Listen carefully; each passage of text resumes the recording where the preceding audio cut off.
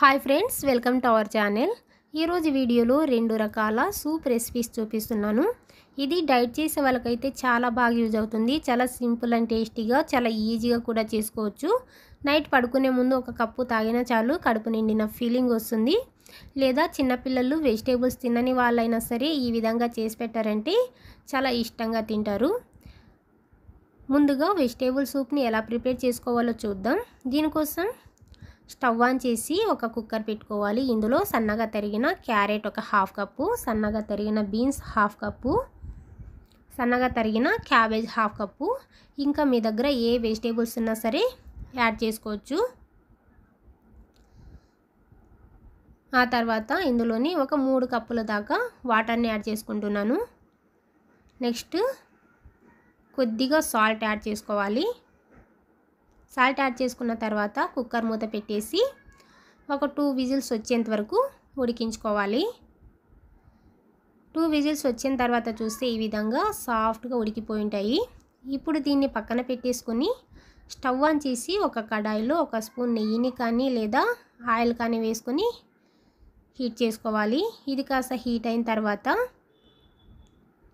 సన్నగా తరిగిన వెల్లుల్లి కొద్దిగా వేసుకొని ఫ్రై చేసుకోవాలి. ఇది కాస్త ఫ్రై అయిన తర్వాత ముందుగా బాయిల్ చేసుకున్న వెజిటేబుల్స్ని యాడ్ చేసుకుంటున్నాను. ఇందులో ఉన్న వాటర్తో సహా వేసుకోండి. ఇది కూడా ఒక హాఫ్ వరకు మాత్రమే వేసుకుంటున్నాను. మిగతా హాఫ్ వెజ్ సూప్కి యూజ్ చేస్తున్నాను.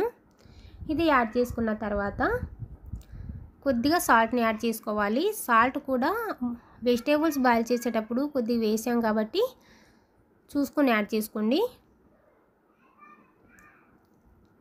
నెక్స్ట్ ఇందులోని ఒక హాఫ్ స్పూన్ మిరియాల పొడి వేసుకోండి.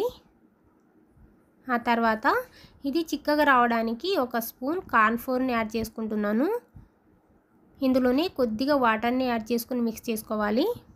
ఆ తర్వాత ఇలా మరిగేటప్పుడు గరిటెతో తిప్పుకుంటూ యాడ్ చేసుకోండి. అలాగైతేనే ఉండలు కట్టుకోకుండా ఉంటుంది.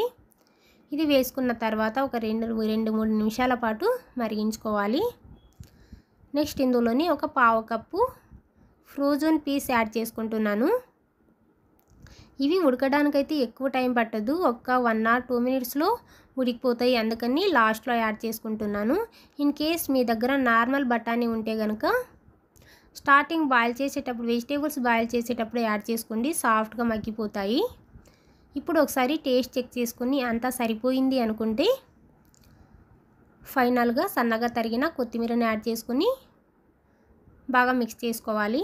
ఈ విధంగా మిక్స్ చేసుకుని ఇప్పుడు స్టవ్ ఆఫ్ చేసేసి వేడి వేడిగా సర్వ్ చేసుకోవచ్చు. అంతే వెజిటేబుల్ సూప్ రెడీ అయిపోయింది. ఇప్పుడు ఎగ్ సూప్ ఎలా ప్రిపేర్ చేసుకోవాలో చూద్దాం. స్టవ్ ఆన్ చేసి ఒక కడాయి పెట్టుకుని ఇందులో ఒక స్పూన్ నెయ్యిని కానీ లేదా ఆయిల్ కానీ యాడ్ చేసుకోవాలి. ఇది కాస్త హీట్ అయిన తర్వాత సన్నగా తరిగిన వెల్లుల్లి యాడ్ చేసుకోవాలి. ఇది కాస్త ఫ్రై అయిన తర్వాత మిగిలిన వెజిటేబుల్స్ని యాడ్ చేసుకుంటున్నాను.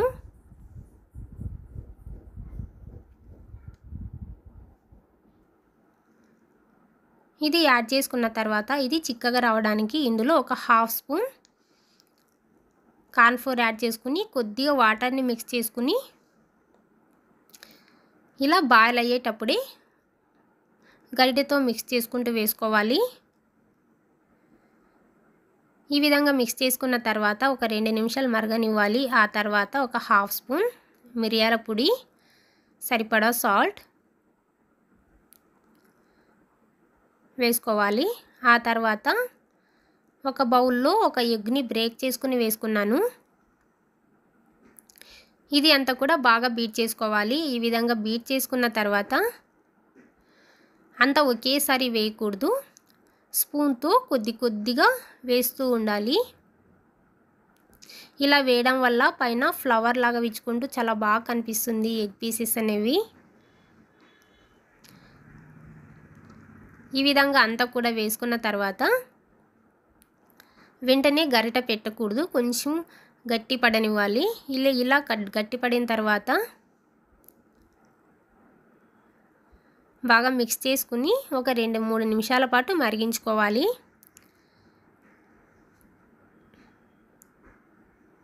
ఇప్పుడు ఒకసారి టేస్ట్ చెక్ చేసుకుని అంతా సరిపోయింది అనుకుంటే ఫైనల్గా సన్నగా తరిగిన